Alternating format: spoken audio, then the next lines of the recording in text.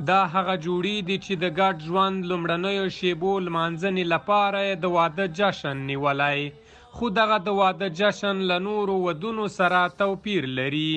دغه جوړی چې نن یې د ودونو مراسم تر سره کیږي خوښي څرګندوي وایي دغه ډول مراسم د لوړو لګښتونو مخنیوی کوي و بسیار خوش هستم که من امروز به این جمع قرار دارم چون این فضا فضاییه که کاملا یک فضای اسلامی و نسبت به جاهای دیگه که محفل عروسی برگزار میشه این کاملا فرق می‌کنه از هر نگاه از, از مصارف گرفته تا بخش بین حجاب و برنامه منظم بودن برنامه‌اش مکمل.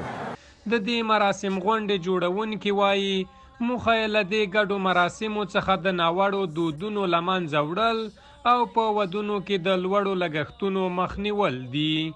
افرادی که در این عروسی دست جمعی شرکت میکنن بتوانند با عدم برگزاری عروسی های آنچنانی و مصارف گذاف بتوانند اقتصاد ملیشان را بالا ببرند. بسیار اقتصادا روی صفر است و مردم در مشکلات هستند. باید این فرهنگ روج بسازند در سراسر افغانستان ما که همگی جوانا رو بیارن به هم چون مجالس. په همدې حال دینی عالمانو د دغه ډلهیزو ودونو په لار اچولو هرکلی وکړ او زیاته کړه چې دغه ډول مراسم باید په هره ټولنه کې دود شي تر څو له لوړو لګښتونو او ناوړه دودونو ډډه وشي.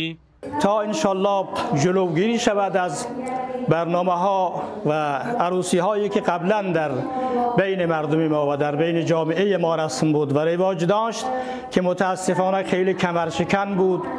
و باید بگوییم خیلی از برنامه ها و خیلی از عروسی هایی که گرفته می شد اصلا همخانی و مناسبتی با برنامه های اسلامی نداشت. ویل کېږي دا لومړی ځل نه ده چې په مزار شریف ښار کې د ډلهیزو ودونو مراسم ترسره کیږي بلکې څه موده وړاندې هم دې ته ورته مراسم ترسره شوي ول.